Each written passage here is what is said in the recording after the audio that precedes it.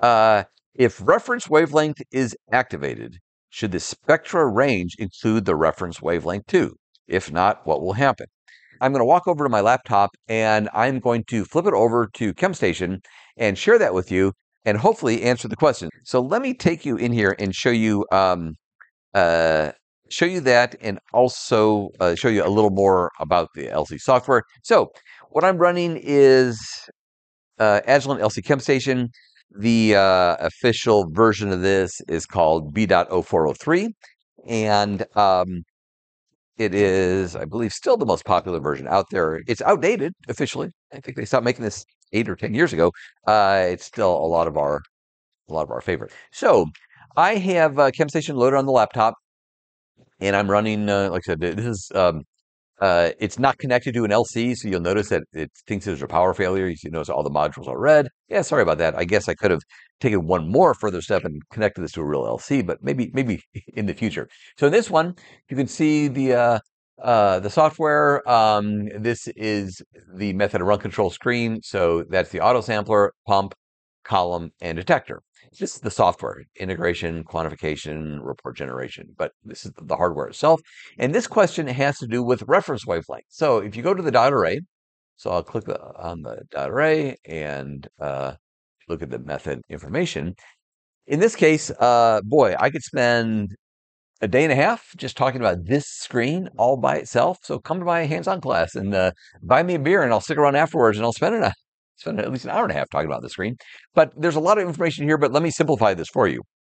The top part of the screen, up here, where it says signals, um, this is the, uh, the wavelength that we want to use for our chromatography. So in this case, most popular wavelength, 254, uh, works great for anything that has an aromatic ring. Um, all the other stuff, a little more into it. The bandwidth is the plus or minus nanometers. So instead of just looking at 254, we're going to do 254 plus or minus 8 nanometers. Why do we do that? Oh, it goes into the, you know, study a little bit about UV spectra. They're very broad.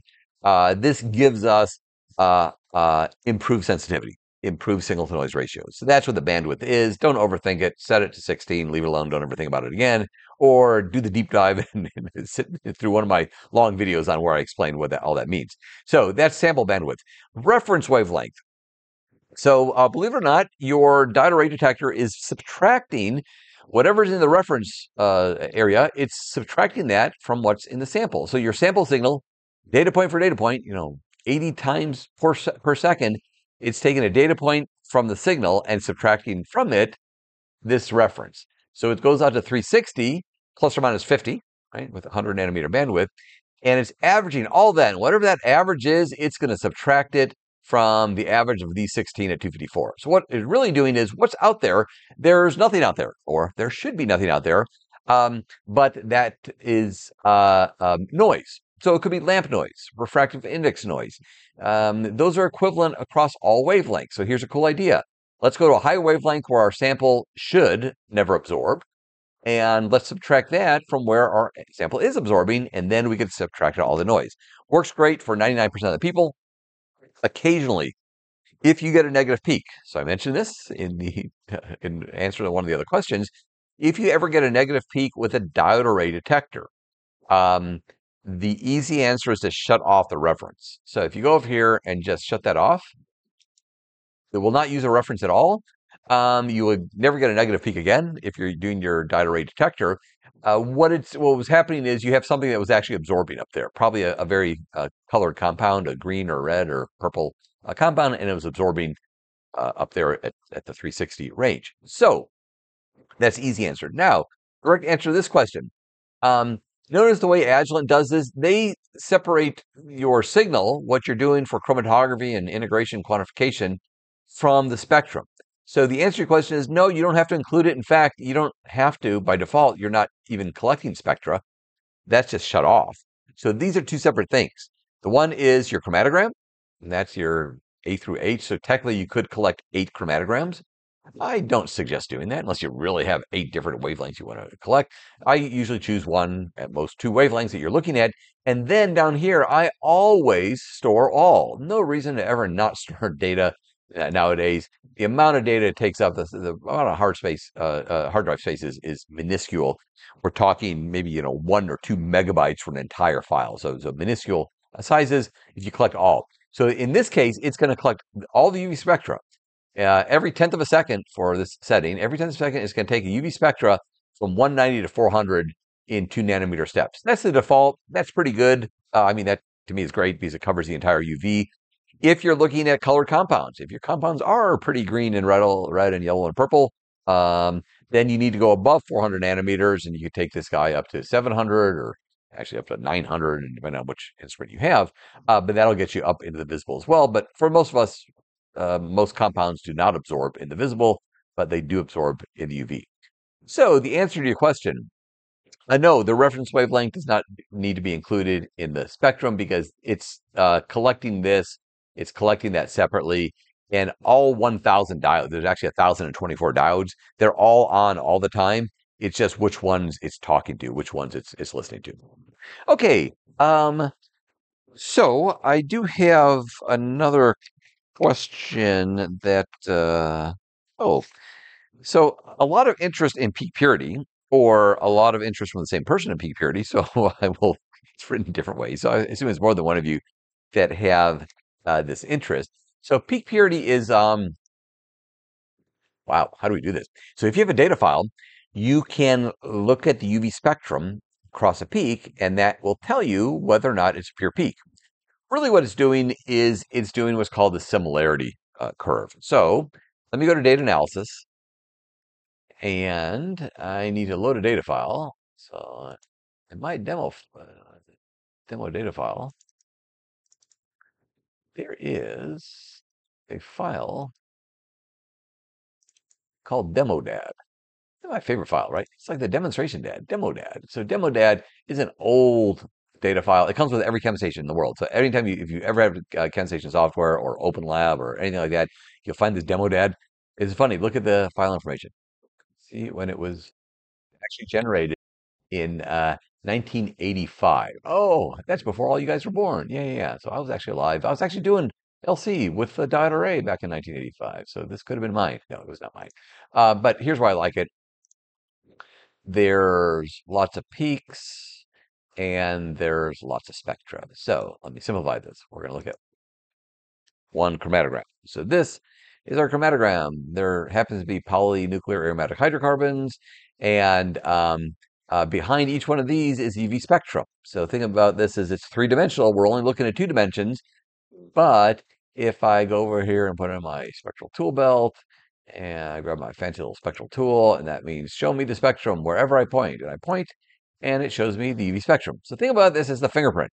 There's a molecule, there's a compound that's coming off there, um, and it has a fingerprint. And this is the fingerprint of that molecule. So each of these molecules has its own finger. Ooh, look at that one. That's interesting, right? And this guy's a different finger. Whoops, different fingerprint. That's, I think I've lost my ability. There we go. So what you're seeing here is uh, we have uh, different fingerprints, different molecules. Now, if this is a pure compound, the fingerprint should be the exact same across the entire peak. So if I look at the spectrum in the beginning, middle, end, they should all be the same.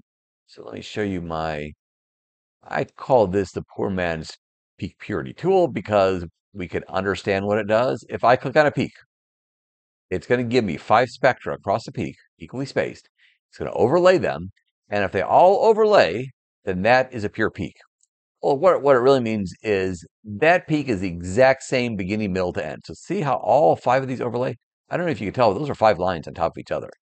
So if I do this and start blowing this up, you're going to realize, oh my gosh, if those are five spectra on top of each other, it looks like one. So that is a pure peak. So I click on a peak, it'll show you um, its purity based on, we can look at it and, and, tell by the overlays. So there's another peak in this chromatogram that's horribly impure. Um, it's this peak right here. I know that because I've done this before, but I can't tell by looking. I mean, what do we do? We look at symmetry. So I oh, look at the symmetry of this peak. Um, and if I zoom in on the peak, uh, it is perfectly symmetrical. So let's use my poor man's system suitability, or I'm sorry, my, my poor man's tool for looking at peak purity. And I want to ask your opinion. Are those five complete overlays, or do we see some differences? Yeah, we see some big differences. This is an impure peak. This is actually two peaks on top of one another. Um, and how can we tell? Because all five things don't overlay. Okay, so hopefully I've just sort of explained uh, what that tool does. And now your question was specifically, how do you set up peak purity and threshold? So that's how we manually do peak purity. Peak purity is based on uh, how pure the compound is compared to what the threshold is. So, what is a threshold? Go to calibration. Oh, no, no, I'm sorry. go to spectra. Go to spectral options. Go to purity. Sorry, mine is slow because I'm sharing my screen with you guys. Go to purity, and by default, it'll calculate the threshold. And boy, don't ask me what it's doing there. It's doing a complex calculation. I always describe it as it looks at the first 10 seconds of your chromatogram, assumes there's no peaks there, calculates the standard deviation of the noise, does a multiple of that, and says your peaks should be better than this.